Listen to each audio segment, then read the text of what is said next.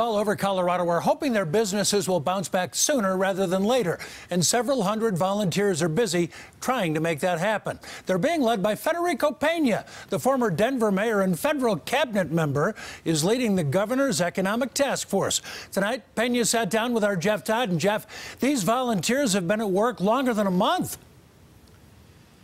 Jim, some experts have said that Colorado's effort to put the economy at the forefront at the beginning of this crisis has really helped. But in talking to Chairman Peña, he said that at the beginning he saw that this would be a lengthy recession, and there are several things that keep him up at night.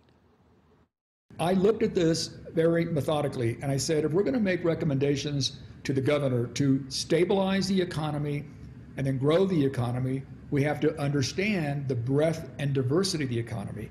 Some of the biggest issues are around the state's energy sector and tourism. So the Governor's Council on Economic Stabilization and Growth broke up into eight different subcommittees. We need to have people from around the state who are each in those sectors so they can give us recommendations from the ground, what they're experiencing. 200 business leaders from every corner of Colorado are working together at the top is Chairman Federico Peña. He says he's constantly thinking about the workers in each industry. How do we come out of this with a whole innovative way of thinking about a lot of things? The task force has influenced how the state taught businesses about financial assistance and made payments for property taxes and permitting fees more flexible.